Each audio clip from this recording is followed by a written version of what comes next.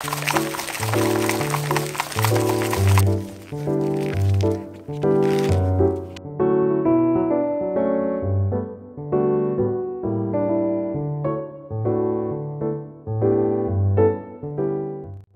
回は納豆の効果が10倍になる食べ物をご紹介します。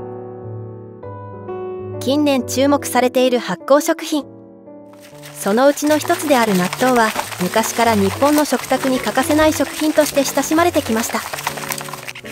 納豆は毎日の食事に取り入れることで健康や美容に高い効果を発揮してくれる栄養価の高い食品ですがその納豆にある食品をプラスすることで納豆の効果が何倍にもなるんですよ。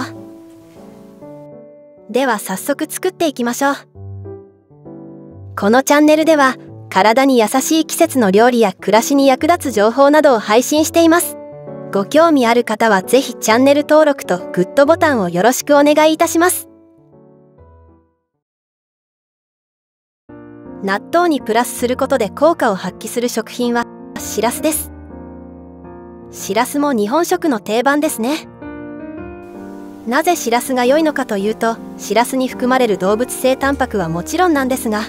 しらすは生きていたままの状態を丸々全部食べられる一物全体食というところがポイントです。頭から内臓尻尾まで全て食べられるしらすは偏りがなく生命そのものを食べるイメージでこれが体にとってすごくいいことなんです。しらすの骨も一緒に食べられるのでカルシウムの含有量も高い。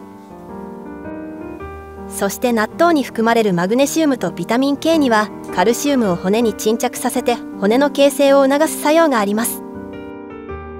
納豆に含まれるマグネシウムとビタミン K がしらすに含まれるカルシウムを効率よく吸収してくれるので納豆としらすの組み合わせは骨粗しょう症にも効果的。しらすと納豆だけでもいいんですが個人的にはここにリンゴ酢をプラスするのにハマっています。このリンゴ酢は甘みは入っていないので甘くはありません。リンゴ酢を入れると納豆の独特の匂いが抑えられ旨味がアップします。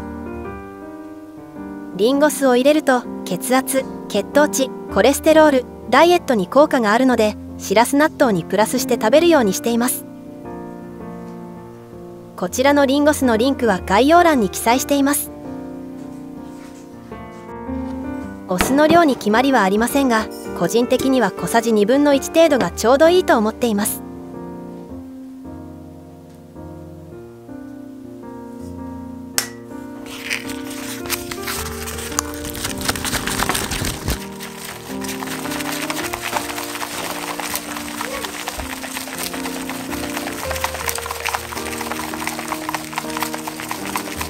リンゴ酢を入れて混ぜるとこんな感じに納豆がふわっとします。普通のお酢でもふわっとなりますよ。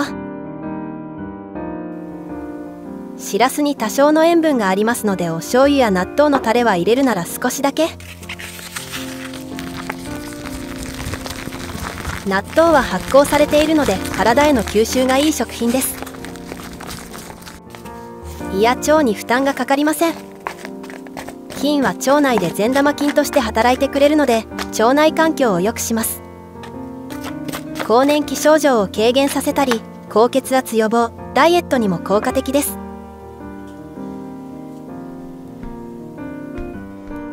ちなみにしらすではなくちりめんじゃこでも OK ですよ。ちりめんじゃこはしらすを乾燥させただけなので成分的には同じものです。これで完全栄養食しらす納豆の完成です。しらすのうまみと納豆の組み合わせってすごく美味しいんですよね。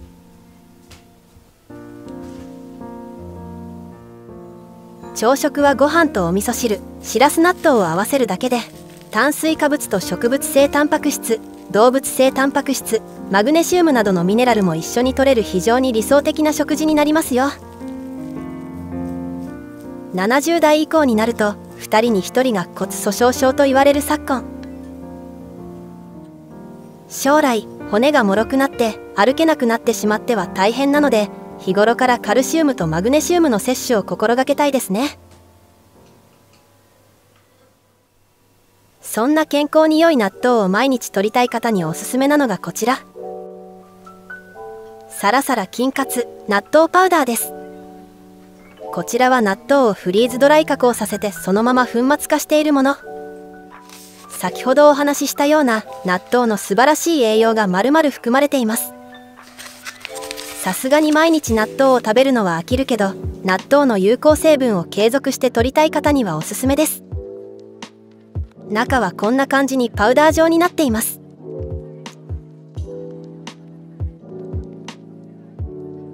納豆を粉末にしただけあって納豆の匂いはします。お味噌汁に入れたりおかゆスープサラダやヨーグルトに混ぜることができるので手軽に納豆の有効成分を取ることができますよ。こちらの納豆パウダーは厚生労働省の食事摂取基準を満たし1食分の必要な栄養素と生きた納豆菌の力を手軽に美味しく摂取できる完全栄養食です。なんとスプーン1杯で納豆10パック分の納豆菌が取れちゃうんです。先ほどお話ししたビタミン K をはじめ納豆キナーゼ9種類のアミノ酸がバランスよく含まれています。前橋工科大学の研究によりひき割り納豆やドライ納豆に比べこの納豆パウダーに含まれる納豆菌の画法が胃酸に強いことが明らかになっています。納豆菌の画法が腸まで届くのでより腸活に効果があるということです。前橋工科大学でエビデンスを取得したのは納豆パウダーだけだそうですよ。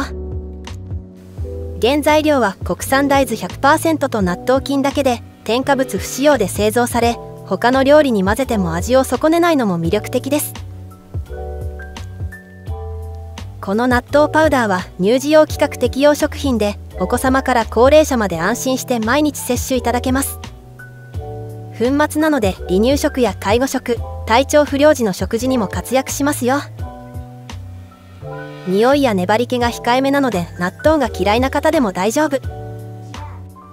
さらに良いのはコンパクトなところ。手のひらサイズなので小さなバッグにもすっと入ります。職場でのランチタイムや旅行の時出張などで納豆を食べることが難しいシーンでも納豆パウダーをかけるだけで簡単に栄養補給できますよ。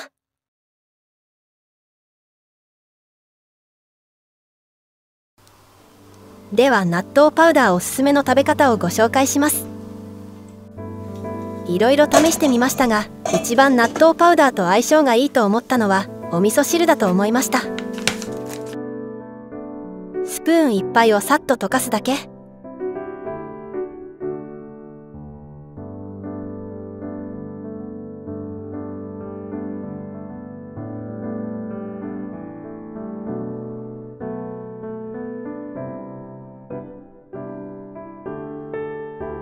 納豆パウダーを入れると少しだけとろみがつきます。なめこ汁のような感じですね。このとろみがお腹をじんわり温めてくれて美味しいです。お味噌も発酵食品ですのでダブルで腸活できますね。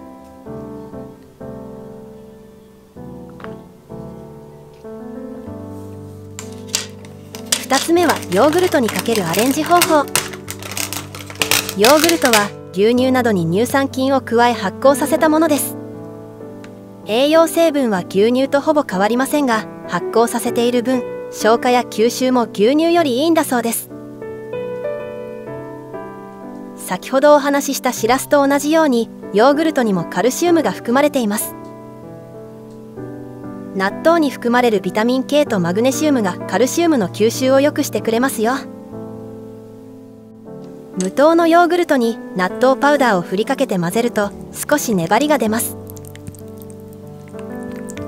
味はきな粉のように香ばしい香りと少し納豆の香りもしますが個人的にはそこまで気になりません。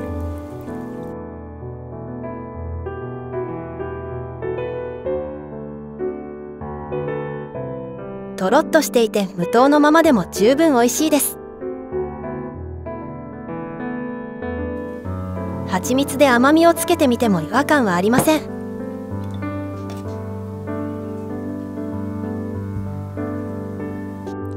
納豆の香りがダメな人はきな粉やシナモンパウダーなど香りがあるものを入れればごまかせると思います。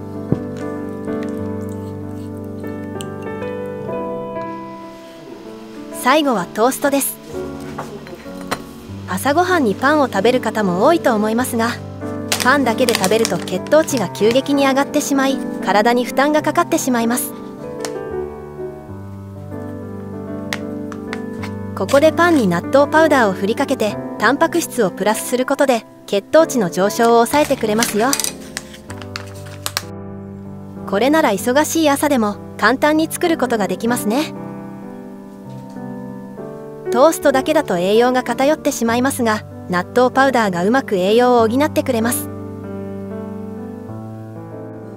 バタートーストはバターがいい感じに納豆パウダーを溶かしてくれて食べやすかったです。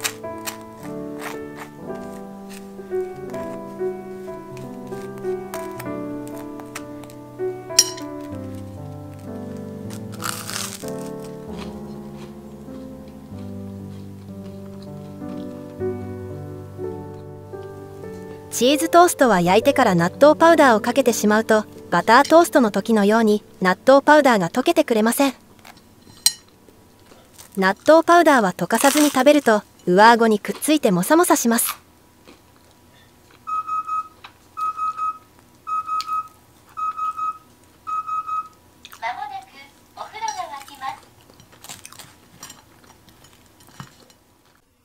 なのでパウダーをかけてからその上にチーズをのせて焼いた方がいいかもしれませんね。上から醤油スプレーをかけることでパウダーをしっとりできましたが納豆パウダーを溶かさないで食べるときは水分の用意を忘れずに。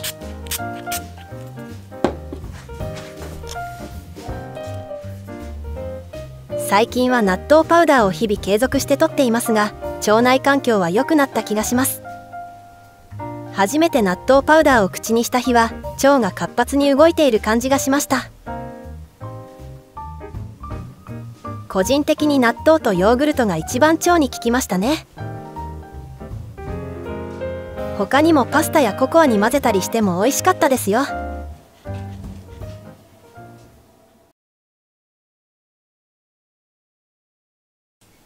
納豆の効果を上げる食べ方と納豆パウダーのご紹介いかがだったでしょうか？健康維持のためにも毎日納豆の栄養を少しずつ取り入れてみてくださいね。納豆パウダーの詳細は概要欄に記載していますので是非ご覧になってみてください。最後までご視聴していただきありがとうございました。